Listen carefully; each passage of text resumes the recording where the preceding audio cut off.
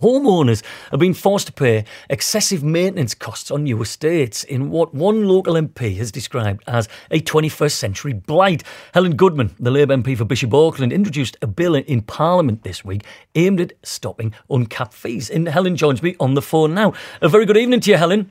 Hi. Um, what sort of problems are your constituents experience, experiencing in your experience?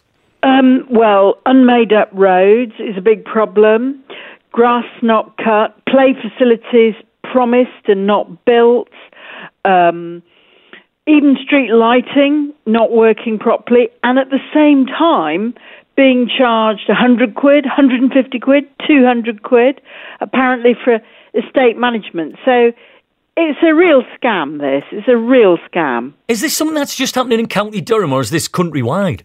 Nationwide. I mean, at first I thought it was just sort of like a couple of estates in my constituency, but then when I looked into it more, I discovered a group called Hornets whose base is in Newcastle, and then I discovered that they had found that this was going on right around the country.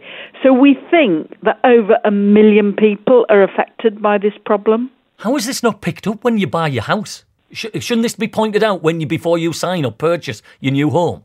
Well, it should be. One of the problems is that sometimes on new housing estates, the developer recommends the solicitor for you to use. So the solicitor's really not independent, not acting for you. They've got a conflict of interest because they're also being promoted by the person who you're buying from.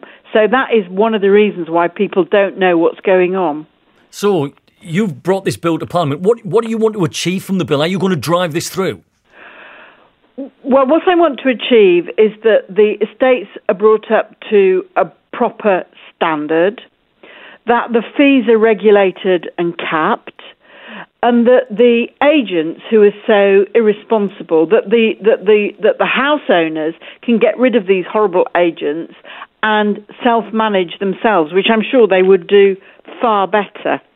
Now, whether or not this bill goes through, uh, I don't know because it's a 10 minute rule bill, so it's not like a private member's mm. bill. But what I am hoping is that we've kicked off the campaign and that we get some momentum into it and that ministers realise they need to act so that next time they have a big piece of legislation, they include my bill in it. So you spotlighting this now, if, for instance, I'm thinking about buying a new house on an estate, are you flagging this up to me and say, check this out before you sign anything? Yeah, I am. I am. I would do that. Um, and I would uh, I would uh, ask some tricky questions of the developer to try and uh, to try and uh, avoid getting into this problem.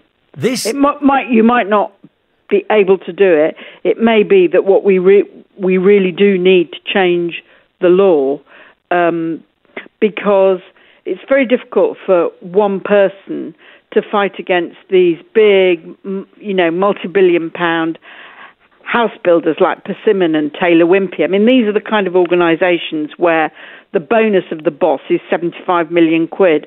I mean, it's a very David and Goliath struggle, I'm afraid. Will you keep us up to date with how you get on? Definitely. Helen, Certainly thank you very will. much for joining us on BBC Tees. Helen Goodman, Labour MP for Bishop Auckland there.